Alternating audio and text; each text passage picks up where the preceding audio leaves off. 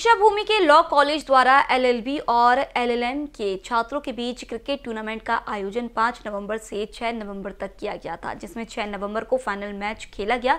इस टूर्नामेंट में आठ टीम शामिल हुई थी।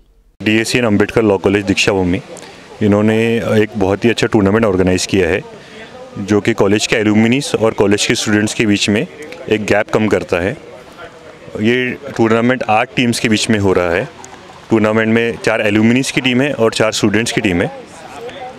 और अभी हम लोग के जो टूर्नामेंट है फिफ्थ ऑफ़ नवंबर से सिक्स ऑफ़ नवंबर के लिए शेड्यूल्ड है।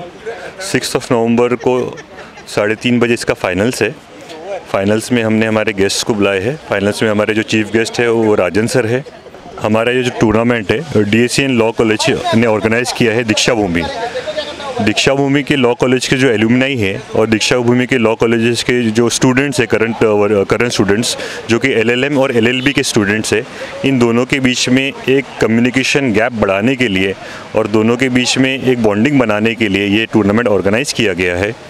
ये टूर्नामेंट हमारा fifth and fifth and six of November को शेड्यूल्ड है। सिक्स ऑफ़ नवंबर को इसका फाइनल्स है सिक्स ऑफ़ नवंबर संडे को। हमारे चीफ गेस्ट जो है, वो राजन सर है। राजन सर, हमारे इस इवेंट में टोटल एट टीम्स आई है।